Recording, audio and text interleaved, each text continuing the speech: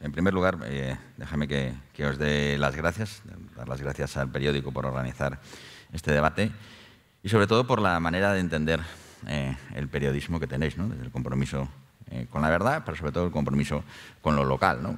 con, con, la gente que, que vive en esta tierra. Y sobre todo por organizar un debate en Zamora donde la gente, como hemos visto esta mañana, Paco Cipriano habla, claro y corto.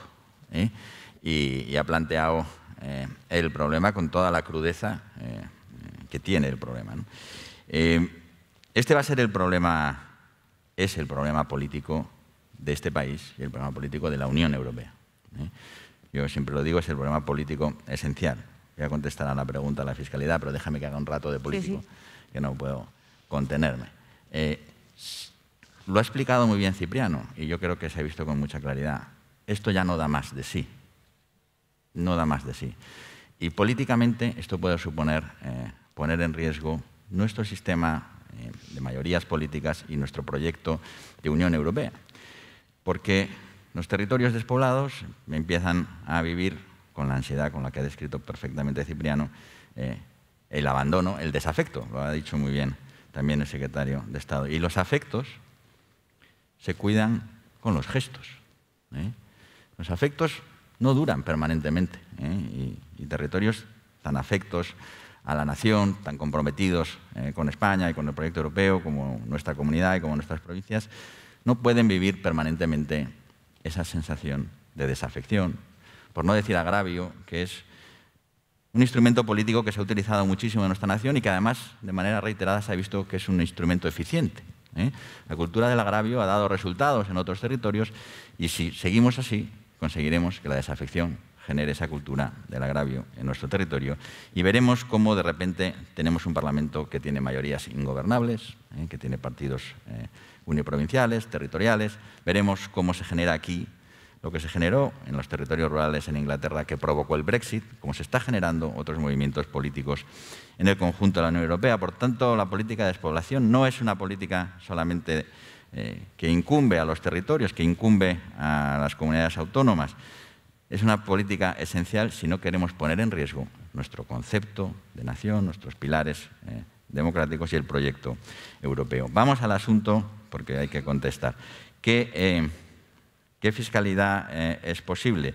Pues nosotros queremos, y lo hemos conseguido para, para Soria, para Teruel y para Cuenca, pero también creemos que es posible conseguirlo en Zamora porque el Tratado de la Unión lo permite. ¿eh? Y de hecho, nosotros ya hemos solicitado por carta al Ministerio de Hacienda ¿eh? que eh, se designe a Zamora una zona C no predeterminada, dada la pérdida de población en los últimos 10 años, dada la densidad y además la situación económica de su media de PIB respecto al resto de la Unión y al resto del territorio. Es posible tener una fiscalidad especial, no solo es posible, eh, yo creo que es obligatorio y es necesario, y es necesario eh, concentrar esas ventajas fiscales en aquello que para nosotros es importante, que es eh, el coste laboral, el coste laboral y la investigación y el desarrollo. ¿Por qué? Porque el problema, como muy bien lo ha ha comentado Francés, no es un problema de infraestructura solamente, ni de servicios. Es un problema de oportunidades, es un problema de, emprendimiento. La gente no se queda solo, yo estoy cansado de decir esto, eh, porque haya médico y escuela, que es importante. Se queda si hay oportunidad de desarrollo, si hay oportunidad de futuro, si queremos que se queden los jóvenes, que es una parte importante de la política contra la despoblación, pero no la única, como luego hablaremos. Tiene que haber empresas, tiene que haber emprendimiento, tiene que haber trabajo. Gente se queda si tiene un trabajo que además le va a llenar la vida. Entonces, tiene que haber ventajas para las empresas en costes laborales y ventajas también en aquello que, promueve futuro, que es el I más I, que es sembrar para el futuro, eso que hemos visto durante estos días en Finlandia. Por tanto, sí, creemos que es posible, estamos trabajando en ello, hemos conseguido en dos años de legislatura algo que se venía eh, reclamando ya hace tiempo, que es eh, la, declaración de zona C eh, para la provincia de, Soria.